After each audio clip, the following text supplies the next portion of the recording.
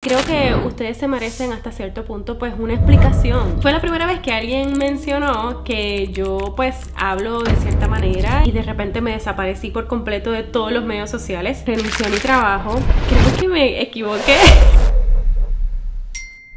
Hola Luca. Este es mi perro Luca. ¿Qué estaba diciendo Luca? Anyways, cuento largo corto. Yo comencé el canal de la doctora Voz y todo surgió porque yo estaba acostumbrada a salir mucho. Yo cantaba, bueno, todavía lo hago, pero no tanto como antes. Antes de ser maestra, lo mío era cantar. Cantar todo el tiempo. A veces la gente me escribe y me dice, tú deberías ser cantante de verdad. Luego de haber tenido a mi hijo, eh, mi hijo fue un niño prematuro y fue una situación un poquito complicada. El hacer la transición de viajar, hacer muchas cosas por mi cuenta, ser súper independiente, a de repente tener esta criaturita en mi casa y tener que cuidarla, pues fue como un shock a mi sistema. Y yo decidí en ese momento que yo realmente no quería cantar como al punto que estaba cantando, haciendo tours, moviéndome por todas partes. Yo quería estar en un lugar fijo, mi casa, para poder criar a mi hijo y poder estar con él. ¿Por qué? No sé. Hay mucha gente que lo hace funcionar, pero para mí no, no funcionaba. Y yo estaba algo desesperada caí en un punto difícil, un punto de, depresión, de mucha tristeza. Entonces comencé el canal en ese tiempo. A medida que el canal crecía, mi depresión crecía también. Al punto de que yo usaba el canal como una manera de medicarme, medicar mi, mi depresión, mi problema. Y a veces me acostaba a las 3 de la mañana editando, a las 5 de la mañana, a veces no dormía nada. Y obviamente mi salud mental se comenzó a deteriorar rápidamente. Y hubo un día en particular donde una persona, era una de las clases de canto que hice para niños, esta persona dijo un comentario que en realidad ahora yo mirándolo el comentario no era nada malo, pero en la situación en la que yo estaba, ese comentario me, me afectó de una manera incorrecta. Pues cuando yo comencé mi canal, eh, hasta cierto punto yo quería ser muy correcta y quería hablar muy profesional y pronunciar todo y parecía, mi esposo me, relajaba porque decía, tú pareces que eres como de Argentina un día, de México otro y no se sabe dónde eres.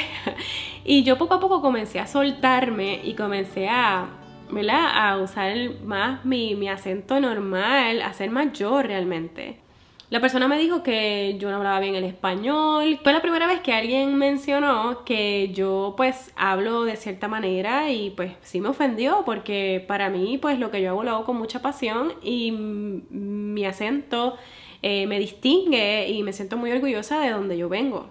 Me molestó y le contesté le dije, mira, realmente esta es la manera en la que yo hablo. Los puertorriqueños mezclamos mucho el inglés con el español y yo vivo en los Estados Unidos, yo mezclo las cosas más todavía y a veces me invento palabras que no existen, pero eh, lo que yo hago, pues lo hago de todo corazón y lo mío no es clases de español, lo mío es enseñar a cantar.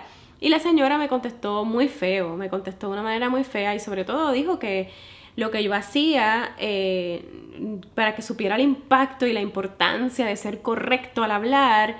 Eh, los niños que, a los que ya le estaba mostrando el video eran niños autistas y que muchos de ellos estaban muy confundidos por la manera en la que yo me expresaba. A mí tú me puedes decir lo que sea, me puedes decir mosquita muerta, me puedes decir eh, que soy fea, me puedes decir que soy gorda, tú me puedes decir lo que sea, que canto feo inclusive.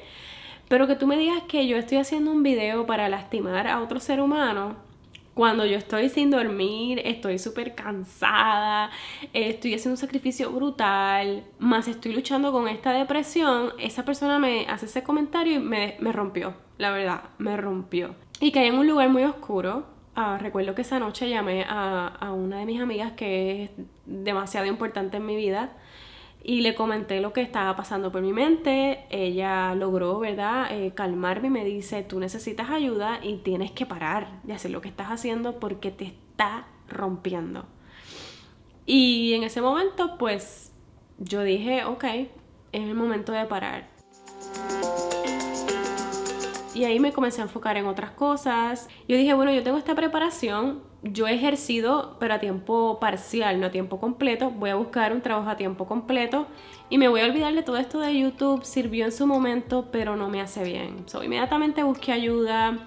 ¿Qué pasó durante esos tres años que me fui? Bueno, cuando me fui, conseguí un trabajo espectacular, estuve trabajando como regidora de escena, daba clases de canto en la universidad, trabajaba con muchísimos cantantes diversos, tuve a mi segunda hija y al final de cada semestre yo tenía que hacer pues como un reporte, tenía que escribir cosas sobre qué hice en ese año. Y ustedes seguían saliendo. De repente me llegaban comentarios y yo los leía todos, todos, todos, todos los comentarios. Yo no contestaba, pero en gran parte era porque tenía mucha vergüenza de que los había abandonado hasta cierto punto. La otra cosa era que yo pensaba que yo me iba a ir y que el canal se iba a morir, pero no, fue todo lo contrario, siguió creciendo con los videos que yo tenía. El canal seguía subiendo y yo dije, Señor, ¿de verdad tú quieres que yo haga esto? Porque esto no se ha muerto.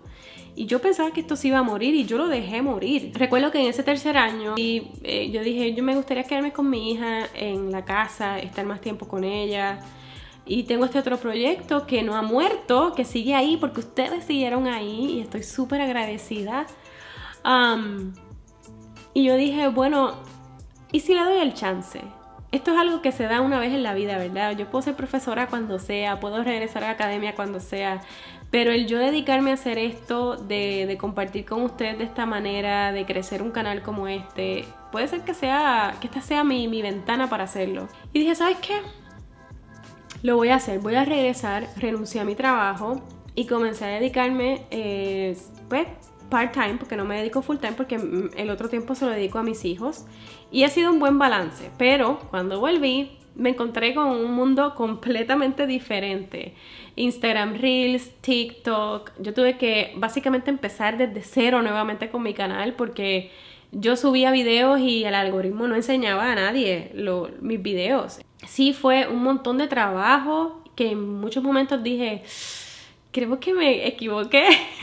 creo que, pero, ¿sabes qué? Aunque venían esos pensamientos, la diferencia es que ahora yo veo el canal con unos ojos diferentes, con un lente diferente.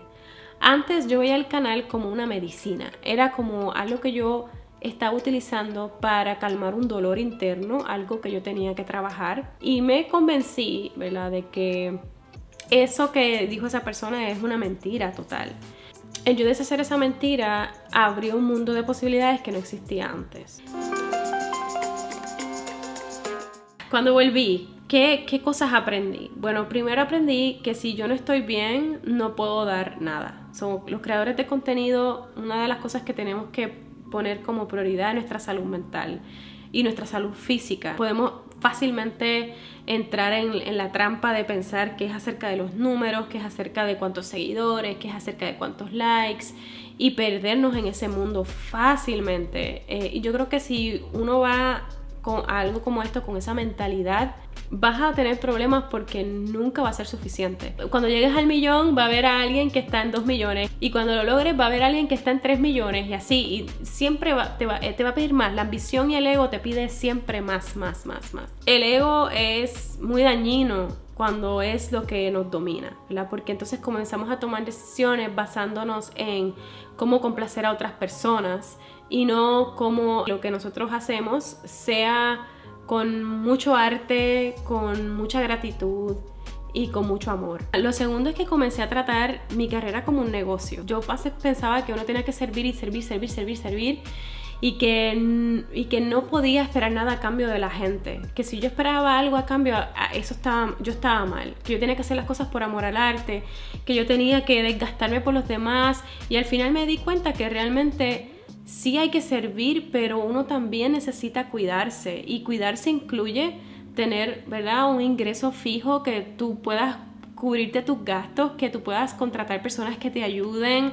Yo antes hacía todo y ahora gracias a Dios llevo como seis meses trabajando con un equipo que me ayuda por lo menos a editar ciertos videos, a hacer cosas y eso necesitas dinero para hacerlo. Y tercero, he aprendido a decir que no. Yo hago videos tres veces al mes y una vez al mes me tomo un break y el break es para pensar, para pensar y analizar qué estoy haciendo, lo estoy haciendo bien, mirar mis valores, mis valores como marca, estoy cumpliendo con esos valores o me estoy desviando. Esto es constante, es bien fácil desviarse. Uno ve a alguien que hace algo muy increíble y dice, ¡ay, me estoy quedando atrás! Tengo que darle. Entonces, esa semana es como una semana de respiro para pensar, para pensar en cuáles son mis metas, qué es lo que quiero lograr, qué es lo próximo, cómo puedo eh, ayudar a mi comunidad más todavía, eh, en qué áreas estoy fallando. Me ha ayudado a ver esto, esto de YouTube más como mi proyecto de vida, no como mi proyecto de ahora. Y yo creo que eso es una de las cosas que afecta mucho a los creadores de contenido, que es que se enfocan mucho en el ahora. Piensan, yo quiero llegar a mil suscriptores en un mes y se ponen esa presión súper, súper grande en vez de pensar, yo voy a llegar a mil suscriptores cuando llegue, yo voy a seguir creando contenido de calidad, mejorándolo, dando lo mejor de mí. Yo no, yo no puedo controlar eso. Yo no puedo controlar lo que otras personas dicen, lo que otras personas hacen. Yo simplemente puedo controlar lo que yo creo, lo que yo estoy creando con mi arte. Y pues estoy en esta aventura y me encanta y estoy bien agradecida de que ustedes me hayan aceptado nuevamente y quiero ¿verdad? hacer este video para darle las gracias y si eres creador de contenido, que sepas que no estás solo, que todos pasamos por, por estas situaciones difíciles de vida y que está bien tomarse pausas y que a veces simplemente no es el momento. Y nada, eso es lo que quería compartir con ustedes. si llegaron hasta aquí, pues como saben, le dan un like porque puede ser que esta información le ayude a, alguien allá afuera, que es lo que yo espero. Chao.